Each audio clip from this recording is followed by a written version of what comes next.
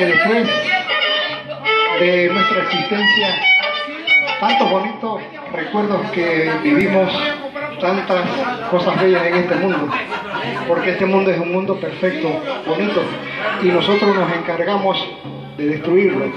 Qué lástima. Y qué lástima que también algún día tenemos que partir todos. Por eso el compositor se inspiró y dijo, me voy de mi tierra.